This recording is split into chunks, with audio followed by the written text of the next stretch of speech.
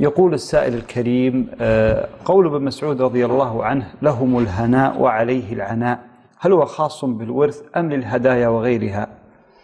آه، الحمد لله رب العالمين وصلي وسلم على المبعوث رحمة للعالمين نبينا محمد وعلى آله وأصحابه أجمعين أما بعد. فيما يتصل بقول عبد الله بن مسعود رضي الله تعالى عنه آه، لك مهنأه وعليه مغرمه جاء في جواب سؤال. أن رجلا سأل عبد الله بن مسعود فقال إن لي جارا يرابي. يرابي يعني يتعامل بالربا ويهاديني يعني يهدي إلي. أفأقبل منه. قال اقبل لك مهنأه يعني لك فائدته وعليه مغرمه يعني غرمه ما كان من كسب حرام وهو الإثم المترتب على أكل على كسب الربا على من اكتسبه.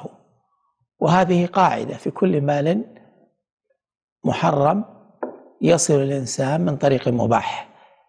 بمعنى أن الإنسان إذا تعامل مع شخص كسبه حرام من أجل عدم جواز الطريق المكتسب وليس لأجل أن المال محرم في ذاته لأن التحريم في الأموال نوعان تحريم عين وتحريم كسب. تحريم العين كالمال المسروق والمغصوب إذا سرق أحد هذا القلم. وعلمت أنه مسروق وجاء يبيعه إلي ما يجوز أن أشتريه لأن أعلم أنه مستحق مسروق فهو محرم العين لأنه مستحق لصاحبه ومن تصرف به تصرف به من طريق محرم. لكن لو أن شخصا تعامل آه، بمعاملة محرمة وكسب منها مالا بالتراضي مع الطرف الآخر. ففي هذه الحال المال الذي في يده خرج عن ملك ذاك الرجل الباذل له. وهو حرام عليه يجب عليه أن يتخلص منه لأن طريق كسبه حرام. فلو أنه تعامل به مع أحد في بيع أو إهداء أو غير ذلك من أوجه انتقال المال فإنه لا إثم على الكاسب. فإنه لا إثم على الآخذ له لأنه أخذه من طريق حلال ولو كان بإرث.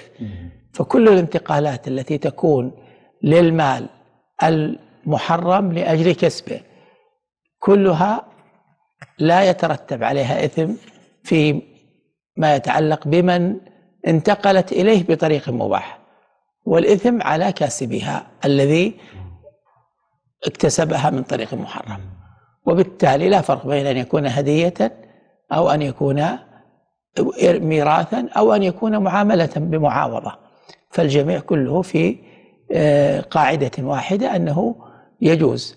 وأما مهنه فهو في المال الذي لا كد في كسبه يعني مثل الهدية ومثل الميراث فإنه لا تعب في أخذه لأنه يأخذه آه، من غير آه، جهد أو أو عمل منه وإما كسب قهري أو تبرع فهذا يدخل في قوله لك مهنأه أي فائدته وعليه مغرمه نعم. بارك الله فيكم شيخ خالد.